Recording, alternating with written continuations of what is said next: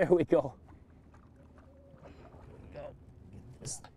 Al was telling me earlier, this bait for walleyes is the Rodney Dangerfield of baits. It gets no respect.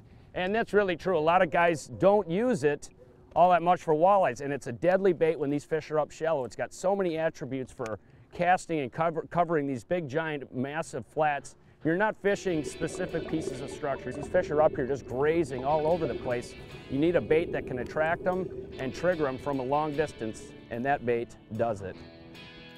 In the big picture, lipless crankbaits are generally associated with power fishing bass. These baits incorporate extreme sound, vibration, speed, and flash to attract and trigger strikes.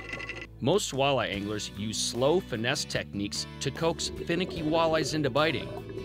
Walleyes, like all fish, can exhibit a wide range of feeding moods, from negative to positive. I get them on figure eights a lot. Lipless crankbaits are extreme lures that enable anglers to comb expansive flats fast and target active fish for a multitude of different species. Lipless crankbaits come in three forms. First, one knocker, like a Clackin' Rap, have a large single BB with a deeper sound. The most common baits, like the Rippin' Rap, have multiple BBs which sound like maracas. Last but not least is the silent bait, with no BBs. It's important to note that the water we are fishing today is dark and dirty, where these loud aggressive baits shine, but they do also have a time and place in clear water conditions. This is a warm water method.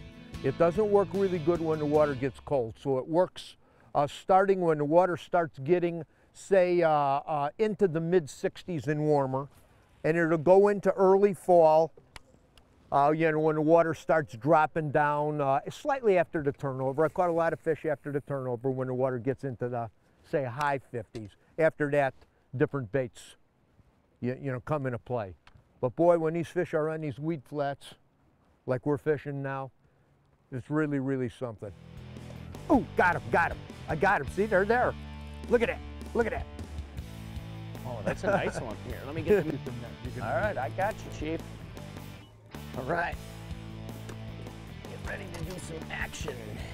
Beautiful walleye there. Nice. Beautiful end to a beautiful day Yeah. I'm fishing. Ooh, you got a tank, huh? Yeah. Coming your way. All right, all right. Look at that baby. Ooh. yeah. Okay. Ooh, Go, go, go. ooh. No. Be careful, man. Oh, Boy, man, did that is- fish, look- look, at how he ate that thing, Okay, man. watch. Down Get the the net out of his mouth. Down the hatch, Look at huh? that. Huh? You know, what a day. What a day, man. Look, look at that. Look at that bait. Look at it down his throat. Wow. You know, we came out, we're throwing, we're throwing two different lipless crankbaits. I will say that the, the, look at that. I'm throwing a Rippin' Rap. Danny's throwing a Clackin' Rap. He has caught way more fish than I have, but I'm getting bigger Yeah. ones. How Oh, sweet. I you got got, another yours? one. Oh, he's got one too now. Oh, it's a pike. Pike. You never know for a split second what you got. This is, we're gonna call this one a wrap. The weather's coming in. We had a great time. We caught a bunch of big fish. And uh, I, I gotta close by simply saying, if you have not picked up lipless crankbaits and started throwing them on your favorite walleye lake when these fish are in shallow water, you're missing the boat. You're missing the boat. It's one of the most overlooked big walleye baits in a warm water period that I have ever seen. Whew. Nice.